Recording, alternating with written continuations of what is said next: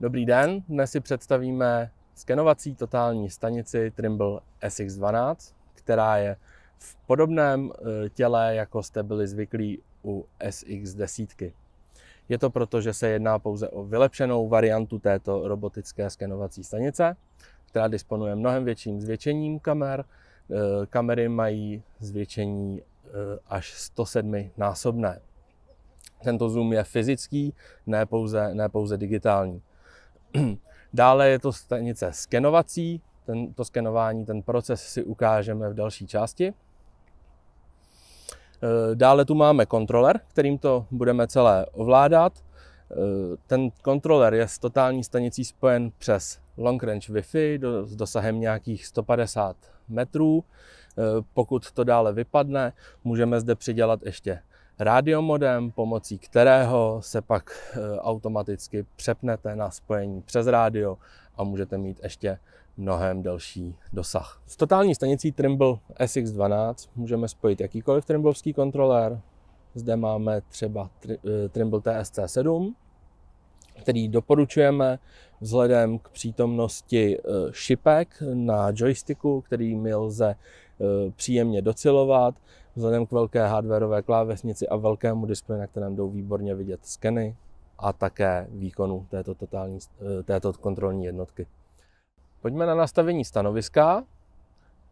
Když přejdeme do měření a měřický styl SX12, nastavíme si orientaci, tlak nám změří přístroj, eh, teplotu můžeme odhadnout, myslím, že ty dva stupně nebudou úplně daleko od pravdy a ppm se nám na základě toho vypočte.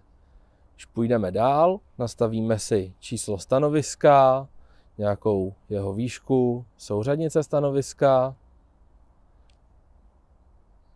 a jdeme na číslo orientace, na, které, na kterou budeme měřit.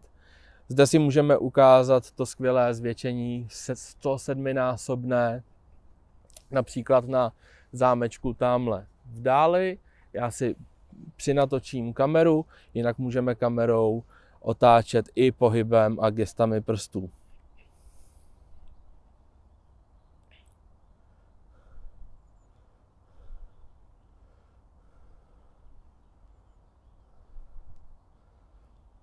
To 107-násobné zvětšení je rozděleno do 8 stupňů a je realizováno pomocí tří kamer a vlastně kam ťuknu do toho displeje, tak tam se mi e, ta totálka natočí a tam zacílí. Jinak pro to přibližování můžu používat buď ikonku e, lupičky, anebo známá gesta z prstů z telefonních přístrojů. Já si můžu takto přiblížit, zacílit a pomocí šipek na TSC 7 můžu jedno zmáčknutí se pak rovná jedné vteřině, což odpovídá přesnosti toho přijímače.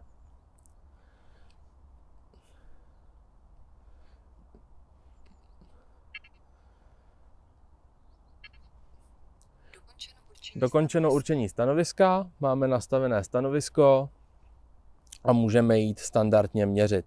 Když teďka znova půjdeme do toho měření, můžeme jít do měření bodů a začít měřit podrobné body od jedničky. Metodou jsou úhly a délky, já si zde ještě nastavím hranol, který zde mám a můžeme vyrazit měřit. Zde si zapneme e, mapu a pokud se někam budu pohybovat, můžu si kameru natočit na sebe těmi gestami prstů, čili jenom potáhnu po displeji a kamera se mi takto otáčí. Zde vidíme Filipa, jak mě natáčí. A tady už jsem já, můžu se přiblížit, ťuknu někam poblíž toho hranolu a mám vyplý autolog, takže ten si zapnu a jakmile mám e, zaplý autolog, tak mě ten přístroj chytí. V tuhle chvíli se můžu pohybovat a ta SX12 mě sleduje. Čili úplně jako se standardní totální stanicí nyní měříme. Pokud se zastavím, zadám si výšku cíle, kterou tu mám 2 metry, měření, tak máme změřeno. Takhle můžu jít dál. Ta totálka mě pořád vidí a měřím.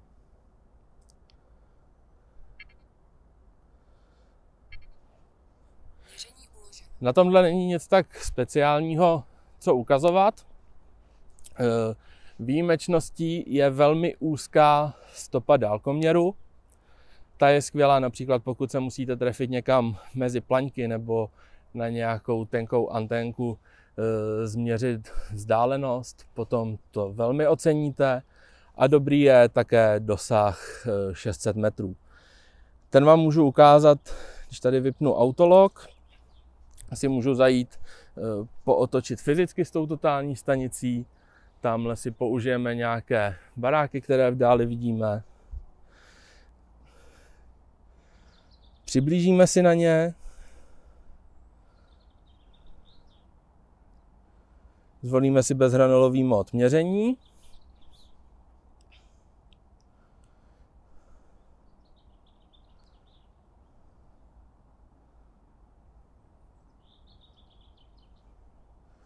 Tady si můžete někam zacílit a e, odměříme. Vidíme, že ten bod je 650 metrů daleko, šikmá délka a úplně v pohodě nám to měří.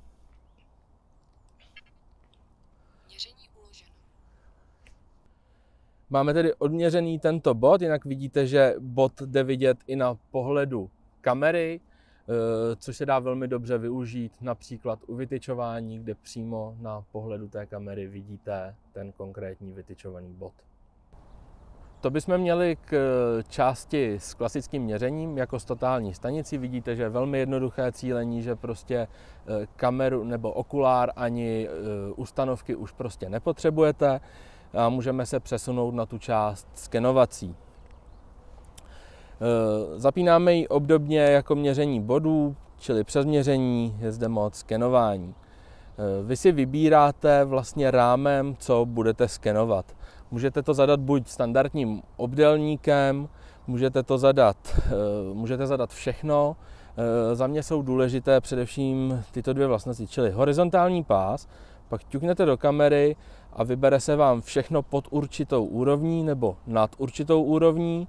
Případně, když kliknete dvakrát, tak se vám vybere pás všude kolem. Ideální třeba na skenování komunikací. Pokud e, zvolíte polygon, pak si můžete vybírat úplně přesně, co budete skenovat. To zde použijeme my. E, stoupli jsme si sem k Branickému mostu a můžeme si vybrat některý segment, na kterém si ukážeme to skenování. Vybíráme si i hustotu skenování, čili e, ta se liší tím, kolikrát to proskenuje. V tom hrubém, který si zde vybereme, to proskenuje jednou, když bychom si vybrali standard, tak to proskenuje čtyřikrát. Aby nám to dokázalo, aby nám to dokázalo odhadnout v dobu skenování, e, je potřeba, a rozestup bodů je potřeba si tam zadat Eh, nějakou referenční vzdálenost, ke které ten odhad bude, bude spočítán. Eh, k tomu můžeme použít, eh, zde vidíme ve vzdálenosti 100 metrů, k tomu můžeme použít tady políčko měřit, které se automaticky přepne ten stroj do bezranolového módu měření a změří si to. Můžete zapnout i délkové limity skenování, že nemáte jenom tu úhlovou výseč, ale máte tam i limity délkové, čili pak nemáte zbytečně body někde vzadu, kam to proskenovalo, nebo naopak blízko, když je nějaká mlha, nebo tam můžou vzniknout nějaké šumy. A můžete si zapnout i panoramata, vybrat si kameru, jaká to bude fotit a e, další parametry těch panoramat. Když to skenování zapneme, tak se nám e, roztočí hranůlek uvnitř té totální stanice a zde na displeji pozorujeme jenom eh, ten status bar, eh, kde vidíme, že se nám to v první řadě bude fotit a v další řadě se to bude skenovat.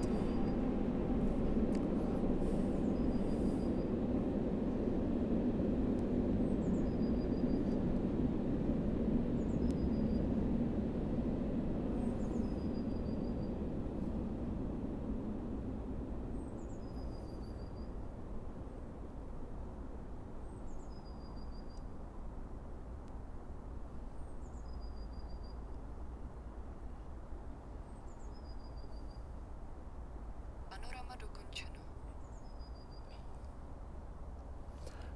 Teď máme panorama dokončeno, čili máme nafoceny ty snímky, které pak můžeme dále využívat, to si povíme dále jak.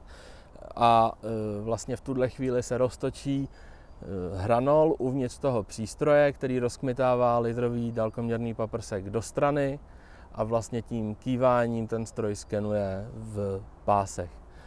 Výhoda toho skenování je ta, že vlastně tím, že jsme v geodetické síti a ty skeny jsou orientované, nám odpadá jakákoliv práce s registrací mračna bodů. Ta je hotová už tím, že máme vlastně měřeno v geodetické síti a po následném přehrání do nějakého zpracovatelského softwaru máme rovnou pospojováno, můžeme vlastně vyrovnat síť a tím upravit i orientaci těch skenů. Tak, máme doskenováno a vidíme na té kameře, že se nám mračna zobrazují i v eh, průkresu s tou kamerou. Můžeme si přepnout do samostatné mapy, kde si můžeme otáčet a koukat na to mračnobodu. Eh, na základě těch fotek, které se pořídily, můžeme mračnobodu obarvit ve zpracovatelském softwaru, kterým je Trimble Business Center, o kterém si povíme více v kanceláři. Takže pojďme do tepla, pojďme do kanceláře. Tak přesunuli jsme se zvenku, uh, už jsme v teple, už jsme v kanceláři, máme stažená data do počítače, což můžeme udělat buď přes flešku nebo přes nějakou cloudovou službu. To je úplně jedno a záleží jenom na vašem pohodlí. Můžeme se podívat, jak vypadají stažená data. Vy jste všichni zvyklí na takovýto klasický job. K tomu nám u SX12, respektive desítky, přibývá ještě složka Files, v které takto najdeme JPEGy s jednotlivými fotografiemi, z kterých se pak skládají panoramatické snímky. A v této složce RVI jsou komprimovaná mračna bodů, do kterých se v tuto chvíli nemůžeme podívat. Je potřeba je prohnat Trimble Business Centrem, protože jsou komprimovaná tak, aby zabírala co nejmenší místo na disku. Tak máme otevřený Trimble Business Center a vlastně pro na, na importování dat do toho programu nám stačí čistě přetáhnout ten job, který už se na ta panoramata i na, na skeny odkáže sám. Čili eh, jednoduchým přetažením se mě software zeptá, jaké bylo měřítko, potvrdím, že jedničkové, importuje se job a ještě se tam mračna bodů budou barvit, jak tady vidíme, obarvení skenovaných bodů, což se děje podle těch fotografií. Ty fotografie pak můžeme využít eh, v projektech, kde je více stanovisek i na průsekovou fotogrametrii, čili kde třeba z nějakého důvodu není mračno, například nějaká lesklá plocha, kde se špatně odráží laserový paprsek, můžeme použít fotografie a laserovou eh, průsekovou fotogrametrii. Zde vidíme ve 2D náčrt, eh, jak se měřilo, čili nějaké ty podrobné body, co jsme tam měřili nějaký ten hodně vzdálený podrobný bod a ve 3D se můžeme podívat na eh, ten naskenovaný most, ten jeden krátký sken.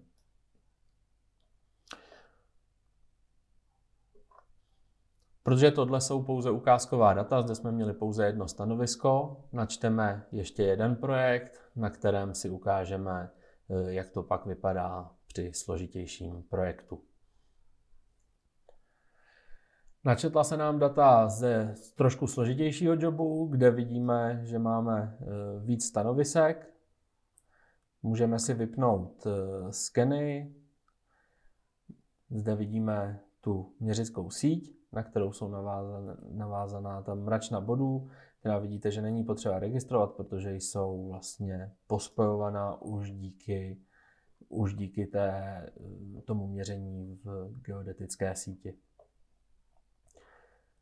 Na mračnost se můžeme podívat i ze stanoviska.